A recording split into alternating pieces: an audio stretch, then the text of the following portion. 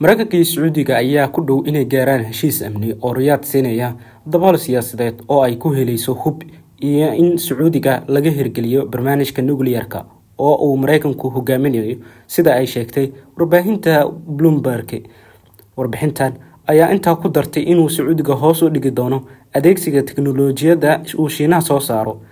Sacuudiga ayaa sidoo kale aqoonsan doona israel oo ay xiriir diblomaasiyadeed la yeelanayso taa oo riyaad ay ku xirtay in marka hore dagaalka khaza la joojiyo lana bilaabo hanaanka lagu dhisayo dowlad falastiini ah oo madax bannaan lana aqoonsan yahay.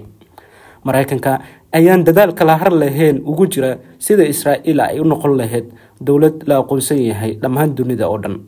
Balse waxaa halkeeda ka sii socda ciribtirka ay israa'iil ku hayso dadka ku nool daanta galbeed ee khaza oo aan loo kala aabi yeelin carruur iyo ciroole. Kani waa bremiyer walad lacag ugu dir saaxiibkaaga ugu adeego meel kasta ku bixi biilasha. U dir hana lagaaga soo diro meel walba.